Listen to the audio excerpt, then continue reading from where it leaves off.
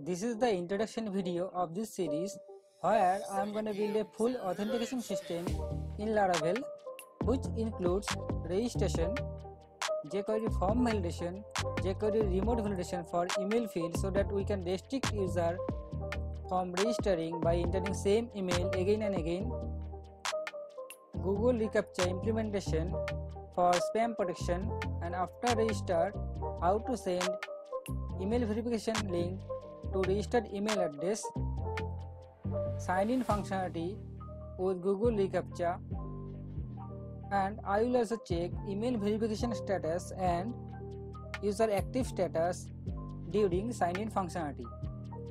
Forget password functionality. By entering registered email address, user will get a reset password link to his registered email address and on clicking on this URL, user will redirect to a page from where user can reset his password. And after sign in,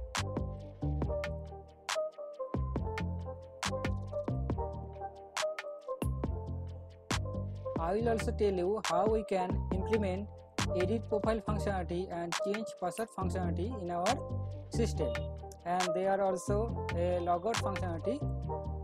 On clicking on this logout button user will log out from the system and you will also learn how to implement ajax based login and registration with pop-up model in this system and the last thing you will learn how to implement MailChimp for our newsletter subscription. Though it is not the part of authentication, yet I included this in this series so that you can uh, you can understand how to implement MailChimp for newsletter.